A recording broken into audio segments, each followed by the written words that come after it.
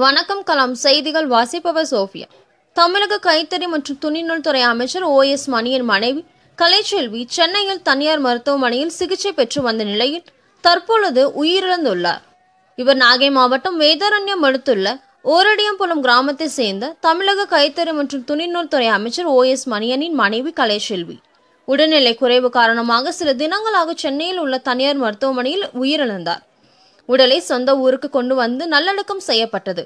உயிரிழந்த செய்தி கேள்விப்பட்டு தமிழக அமைச்சர்கள் தங்கமணி ஆர். பி. உதயகுமார் காமராஜ் துரைக்கண்ணு சரோஜா வளர்மதி மற்றும் நாகை சட்டமன்ற உறுப்பினர் தமிழன் அன்சாரி ராதாகிருஷ்ணன் மற்றும் முன்னாள் சட்டமன்ற உறுப்பினர்கள் மற்றும் பாராளுமன்ற உறுப்பினர்கள் முன்னாள் அமைச்சர்கள் பொதுமக்கள் கலந்து கொண்டு தமிழக கைத்தறி மற்றும் துணிநூல்துறை அமைச்சர் ஓ. எஸ். மணியன் வீட்டில் வைக்கப்பட்டு அவரது துணைவியாருக்கு மலர் மாலை வைத்து அஞ்சலி செலுத்தினர்.